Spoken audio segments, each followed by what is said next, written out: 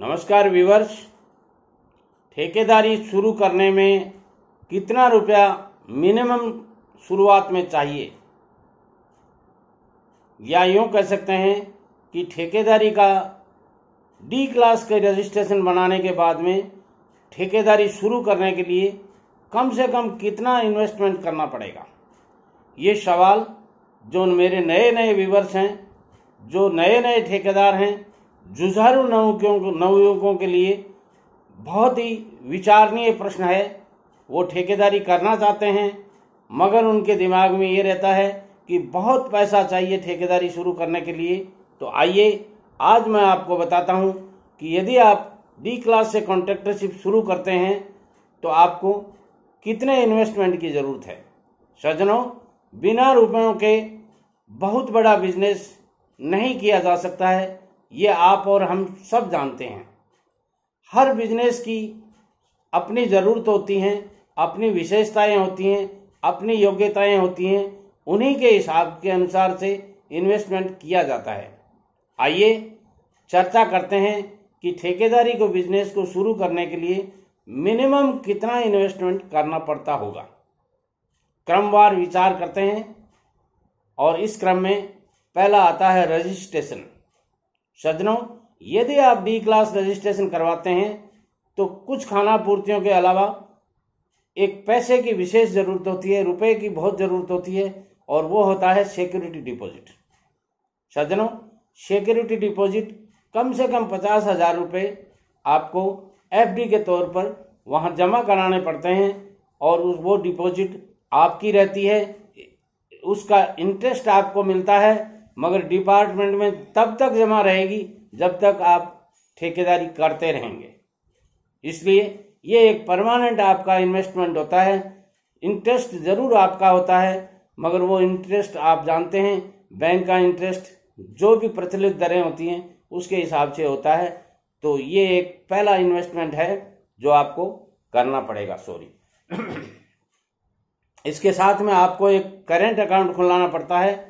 बैंकों ने आजकल करेंट अकाउंट में मिनिमम बैलेंस की बाध्यता लगा रखी है तो उसमें दस पंद्रह हज़ार रुपये जैसी बैंक अपने अपने हिसाब से लगाते हैं। वो पैसा भी आपका इंटरेस्ट उसमें कुछ नहीं मिलता है, मगर वो पैसा भी आपका लंबे टाइम तक इन्वेस्ट हो जाता है। ये पिछहत्तर हज़ार रुपये तो ये हो गए। आप ये मानिए, पाँच सात दस हज़ार रुपये आपके घूमने फिरने में ओवर हेड एक्सपेंसेज में कई तरह के खर्चे आपको करने पड़ते हैं, घूमने फिरने में, मिलने जुलने में, उनमें पाँच सात हज़ार रुपये लग ही जाते हैं। तो ये मान लीजिए आप कि साठ से पैंसठ हज़ार रुपये सत्तर हज़ार रुपये आपको रजिस्ट्रेशन जब तक आपके हाथ में आएगा, तब तक लग ही जाने हैं। इसके बाद में होता है संसाधन जुटाने में। सज्जनों, संसाधन वर्क की नेचर के ऊपर डिपेंड करते हैं। आप कौन से वर्क की ठेकेदारी करना चाहते हैं? बिल्डिंग वर्क करना चाहते हैं? आरसीसी वर्क करना चाहते हैं। आरसीसी ओवरहेड टैंक्स शेड्यूल वार्स फ्लाई ओवर्स और बहुत से आरसीसी के वर्क्स होते हैं। यदि ये बनाना चाहते हैं तो इसमें अच्छा पैसा लगता है और बिल्डिंग वर्क बना, करना शुरू करते हैं तो इसमें भी बहुत लंबे लंबे प्रोजेक्ट होते हैं और छोटे प्रोजेक्ट भी होते हैं। आरसीसी वर्क में भी छोटे होते हैं। आप छोटे छोटे G L R C W R लेकर के भी आरसीसी वर्क शुरू कर सकते हैं।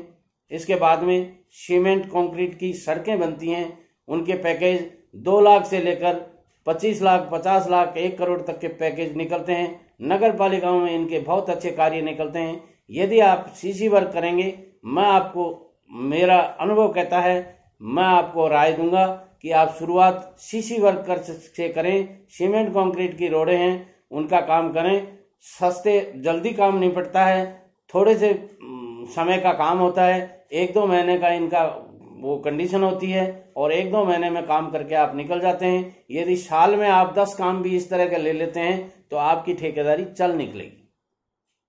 सज्जनों, इन सब में आपको संसाधन क्या चाहिए? ये अलग अलग नेचर के हिसाब से होता है। इनमें मिक्सर मशीन चाहिए वाइब्रेटर चाहिए, बहुत कुछ चाहिए, मगर ये सब आप किराए पर हायर कर सकते हैं। और इसके बावजूद यदि आपको किराए पर नहीं मिलते हैं तो कुछ संसाधन जब आप ठेकेदारी करने शुरू ही कर दी है तो कुछ संसाधन आप अपने ले लीजिए, कुछ किराए पर ले लीजिए, ऐसे करके शुरुआत में काम निकाल सकते हैं। और तीसरा नंबर आता है कि अचानक आने आने वाले खर्चों के लिए भी आपको कम से कम लाख रुपए आपके बैंक अकाउंट में हमेशा रहना चाहिए। दो एक लाख रुपए आपको कम से कम वर्क शुरू करेंगे, तब आपको चाहिए। इस तरह आप पाँच से सात लाख रुपए में आराम से अपना ये डी क्लास कॉन्ट्रेक्टरशिप का बिज़नेस है, वो शुरू कर सकते हैं। तुरंत आप काम जो ही आपका पूरा होता है रनिंग बिल बनवाइए। 90 परसेंट पेमेंट आप रनिंग बिल के थ्रू ले लीजिए, क्योंकि फाइनल बिल में समय लगता है और तब तक आपका काम अगला हेल्ड अप हो जाएगा। इसलिए आप रनिंग बिल के थ्रू पेमेंट ले लीजिए और बाद में फाइनल बिल पास करवाते रहिए। तो इस तरह आप पाँच से सात लाख रुपए में अपना बिज़नेस शुरू करके आराम से बढ़िया से बढ़िया धंधा जचा सकते हैं और धीरे धीरे आप, मैं ये यूँ कहूँगा आपको कि धीरे धीरे आप अपना जो प्रॉफिट है, वो आप अपनी संसाधन जुटाने में लगाइए, घर के अन्य खर्चों में मत लगाइए। तो संसाधन आपके पास धीरे धीरे हो जाएँगे तो आपका काम आपके लिए और भी ज़्यादा प्रॉफिटेबल हो जाएगा और धीरे धीरे आपका धंधा चल निकलेगा। सज्जनों, किसी भी धंधे के तीन साल थ्री इयर्स थोड़े परेशानी भरे होते हैं उन परेशानियों से यदि आप ठेकेदारी करना चाहते हैं तो निपटना होगा। हर व्यवसाय की ये विशेषता है। चाहे आप कपड़े के व्यापार में चले जाइए, चाहे आप ब्रिक्स के व्यापार में चले जाइए, चाहे आप ईंट भट्टा कर लीजिए, कुछ भी आप व्यापार कीजिए राम राम भी करेंगे ना आप। राम राम करने का भी ये दिया आप ये प्रण कर लेते हैं कि मुझे तीन माला रोज फेरनी है तो उसमें भी आपको थोड़े समय तक परेशानी आएँगी, उबासियाँ आने लग जाएँगी आड़स आने लग जाएगा। तो कोई भी आप काम करेंगे, उसमें थोड़ा समय तो लगता ही है।